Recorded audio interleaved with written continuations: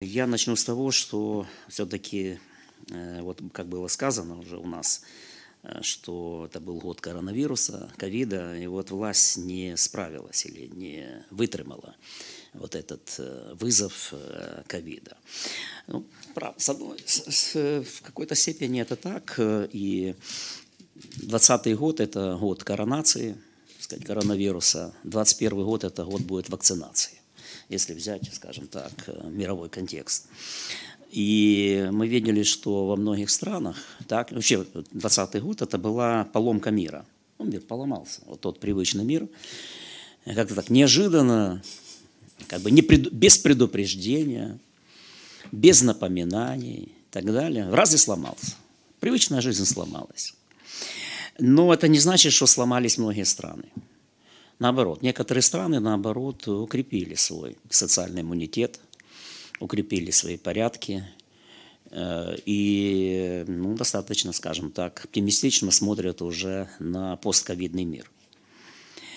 Некоторые, скажем так, поломались или сломались вместе с миром. В какой-то степени можно говорить и про нас. Да, мы выжили, есть у нас запасы выживания – но вот э, есть вопросы, а как дальше двигаться. Потому что есть ощущение того, что есть некое ощущение такого застоя или тупика. Или э, ощущение того, что есть такой кризис цели, национальных целей, кризис целеполагания. И с одной стороны согласен э, вот, э, с Миколою, що влада не витримала. Но в данном случае, знаете, даже интересно то, что мы говорим «влада». А что такое влада? Мне кажется, что государственный механизм тут важный момент. Так что вот эта система, э, мы говорили о bad company, но есть еще вот такое понятие, как bad government, то есть плохое правление, плохие институты. И как бы влада – это держава, значит, державный механизм или государственное управление, управительственность от слова и правила, и право, и умение использовать право и правила для управления, вот это все э, тоже где-то поломалось в 2020 году, и которых, э, ну, надо, так сказать, в срочном порядке починить бы не мешало. Так что э, это первое. Второе. Вот все-таки в чем ощущение вот какого-то скажем так, э, остановки какой-то, так, отсутствие вот какого-то драйва, национального или государственного драйва, или политического драйва. Как я уже сказал, э, вот это как бы кризис цели, кризис целеполагания. Потому что у нас с 90-х годов, с начала 90-х годов всегда была, скажем так, великая цель. Можно спорить, правильно, неправильно, но она была. Это Европейский Союз и НАТО. Это евроатлантическая интеграция. Можно внести изменения в Конституцию, но знаете, парадокс в том, что чем больше вы это все пишете на бумаге и, скажем так, даете, скажем так, отчет или отчитываясь о том, что вот мы эту цель внесли в Конституцию, тем меньше может быть практических шагов по реализации этой цели. Тем более сейчас, когда коронавирусный мир вот, поломался, и, возможно, в 2021 году эта поломка будет устранена, тогда э, вот эти скажем так, большие цели могут вернуться в украинскую политику. Но на данном этапе э, все-таки мы находимся вот в этом, скажем так, периоде между имитацией реформ, потому что как-то ну, не могу я сказать, что это, скажем так, полноценные реформы. А с другой стороны, вот какого-то ощущения застойности – такой нестабильной застойности, потому что эта застойность не дает стабильности, она только генерирует постоянную нестабильность и постоянную текучесть всего, институтов, политики и так далее. Такая текучая политическая реальность. Вот. Вместо того, чтобы сочетать вот эту текучесть с какими-то незыблемыми, константными механизмами, институтами управления. А кризис целеполагания, в свою очередь, он э, э, генерирует другой кризис. Кризис смысла страны в этом мире – геополитического смысла страны э, или Украины, смысла независимости. Потому что тогда возникает вопрос, а ради чего, вот, э, точнее, возникает вопрос, а что дальше? Надолго это? вот такой, застрять, я бы так сказал, в истории, или точнее в постистории. Потому что ковид в какой-то степени это, э, скажем так, не длительное, в исторических, по историческим меркам, но достаточно продолжительное состояние постистории. Ну, потому что страны закрываются, например, закрывают бизнесы, закрываются, скажем так, полноценные саммиты, встречи и даже дипломатию ставят на паузу многие. Тем более, ну, возможно, что новая американская администрация разблокирует все эти паузы, так? Но пока вот такое ощущение. И вот тогда возникает вопрос, а независимость ради чего? Это независимость для элит или независимость для всех? Если это независимость для элит, ну то тогда главная цель – обогащайтесь. А если главная цель – обогащайтесь, ну тогда будет доминировать что? Ну, скорее коррупционные практики, схемы, а не институты и механизмы управления развитием, прогресса. Независимость ради обогащения или ради прогресса.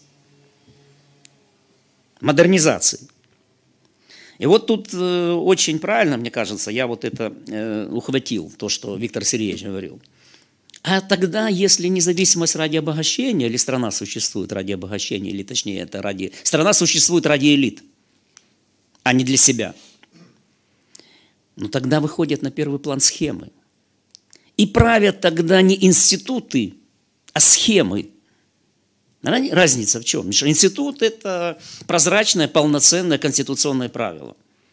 Схема всегда это в серой зоне между правом и неправом, между законом и нарушением. Это всегда как бы полулегальная и одновременно полукриминальная, полу, полукриминальная практика, незаконная практика. И тогда под схемы, если правят схемы, ищут правильных умных менеджеров схем, а под институты, под правила ищут государственных деятелей, государственных служащих. Напоминаю, акцентирую внимание на слове «служащие», чтобы служение, так сказать, было. Политики с их, скажем так, пол, полным позитивным бэкграундом и так далее. И чем меньше целеполагания, тем больше э, вот э, такого состояние в постисторическом периоде, чем больше схем и меньше институтов, и больше менеджеров схем, чем э, государственных деятелей, служащих и публичных, ярких, жертвенных политиков и государственных служащих. Тут и правильно, вот Виктор Сергеевич сказал, тогда и возникает вот это состояние, что нас э, как бы как прокси страну используют. Что такое прокси-страна? Но вы нужны для того, чтобы каждый проводил свою политику через вас. Не прямо, а через вас. Косвенно. Используя вас как инструмент в продвижении своих э, разного рода целей, национальных целей. Вы инструмент реализации чужих национальных целей, а не полноценное, так, государственное образование, которое может реализовывать свои национальные цели. Но, как я сказал, как только есть кризис национального целеполагания, то вы можете проводить, даже если у вас есть инструментарий, свои национальные цели, если вы до конца, скажем, если вы ощущаете этот кризис национальных целей. Или произошло смещение этих национальных целей в пользу элит олигархических, каких угодно, внешне управляющих элит, внутренне управляющих элит, но это элиты – Парадокс в том, что в ситуациях кризиса вот этот смысл появляется, потому что, допустим, в 2014 году люди почувствовали, что они защищают свою страну, и вот тогда дивиденд независимости, так называемый, вот он тогда как бы распространился на всю страну и на с элит на массы, потому что до того тоже, скажем так, дивиденд независимости это был в пользу элит, в пользу правящих классов. Ну а потом опять все вернулось на круги своя. Поэтому часто вот ощущение такое, что это как бы революция 2014 года, она незавершенная или недоделанная, или там частичная и так далее. Потому что опять вернулось к тому, что дивиденд независимости – это в пользу правящих слоев, а не в пользу низов, общества, всей страны в целом. Поэтому э, вот э, многие события на этой неделе, они симптоматично показали вот этот, скажем так, э, вот эту всю историю со, с тем, как кадры формируются, голосуются, решаются. Почему именно в таком степени? Потому что когда кризис, например, какого-то линейного целеполагания, а на повестку дня становится, скажем так, задача сохранения единства страны, или там, скажем, э, балансирование или лавирование среди вот этих всех внутренних и внешних вызовов, вот тогда и кадровая политика, она выглядит так. С одной стороны Шкарлет, с другой стороны новый министр ветеранов, генерал-майор СБУ, женщина, да, как фамилия, сейчас не помню, вот, так, э, которая пользуется авторитетом вот в этой среде ветеранской и со стороны гражданского общества. Вот вам, пожалуйста, представитель ректората, ректоров украинских, а вот вам представитель э, гражданского общества и так далее. Вот только это, это все, кстати, постоянно вот так, вот такие пазлы. И нашим, и вашим это называется политика. И нашим, и вашим. Вот. А не... И тут три точки и повисает этот вопрос, а ради чего? Когда нету четкого понимания, а ради чего все это, ну тогда играет роль, если мы не знаем ради чего, значит тогда будем ради, ради себя – Значит, тогда э, все возвращается к схемам, а не к институтам.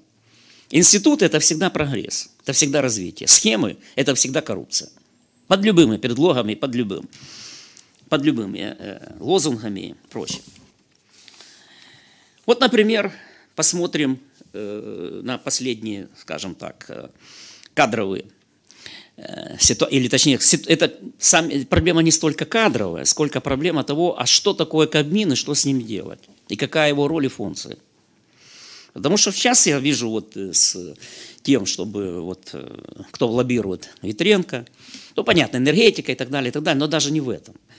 Хотят подвесить Кабмин. Подвесить, потому что, кажется, ну, если Витренко становится вице-премьер-министром первым, министром энергетики, ну, это аппаратный вес, это и вес компетенции и так далее, это значит, можно уже прогнозировать, что через какое-то время кабинету Шмыгаля и премьер-министру Шмыгалю нужно готовиться на выход. Но тогда возникает вопрос. Если это, ну, скажем так, э, планируемая э, история, а не случайная история – скажем так, лоббист, олигархического лоббизма, там кто кого, Ахметов или Коломойский, кто будет контролировать энергетику. А история связана с тем, чтобы усилить Кабмин и последующим выходом на выход Кабмина э, Шмыгаля, значит, получается, что э, э, стратегия э, власти нынешней по поводу Кабмина – это так называемые короткие Кабмины. Ну, вот был Кабмин Гончарука, побыл недолго. Теперь Кабмин Шмыгаля, побыл недолго. Следующий Кабмин Ветренко. Ну, это короткие Кабмины, это как бы аналогия вот с историей Англии 17 столетия, когда, когда были долгие парламенты и короткие парламенты. Вот у нас были и долгие Кабмины, так, например, при Янукове, а это короткие Кабмины. Да, Кабмин, да, Гройсмана того, того же, Кабмин, Яценюка. А вот были там Кабмин, Киноха, короткий. Э, и вот, мне кажется, я помню в одном из интервью, или в одном из комментариев президент Зеленский сказал, ну ничего не получится, будем менять Кабмин, будем менять премьеров. Но может быть это такая как бы тактика коротких Кабминов. И мне кажется, вот э, почему Тимошенко проголосовала за бюджет, потому что, очевидно, все-таки э, есть опасность или риски, давайте так скажем, мягче риски, что вот эти короткие кабмины, они все-таки могут сказаться не в лучшую сторону с точки зрения управляемости. С точки зрения управляемости. Потому что как только начинается, э, несложно убрать старый камин, сложно сформировать новый камин. Это опять начинается пир лоббизма, пир, скажем так, разного рода того, что уже Виктор Сергеевич сказал, как там, рулеток, так, и лифтов, а не долговременной кадровой стратегии. И таким образом, э, вот, э, все это может не усилить, скажем так, а, не усилить э, институты, а сказать, перефор, переформатировать схемы. Просто одна company будет сменена другой company. А нам нужны хорошие институты. Good company, так, или good government. Хорошее правление нужно. Вот мне кажется, есть э, вот эти э, проблемы, которые э, вот симптомы которых вот мы увидели на, на прошедшей неделе. Это, кстати говоря, главная задача на будущий год. Потому что тут нужно будет сыграть правильно и в вакцинацию, и в посткоронацию, и выстроить уже эффективные, выстраивать эффективный институт, а главное решить все-таки кризис целей. Мы достигли своей цели. Главная сейчас задача укреплять свой суверенитет, независимость и так далее, и укреплять экономику.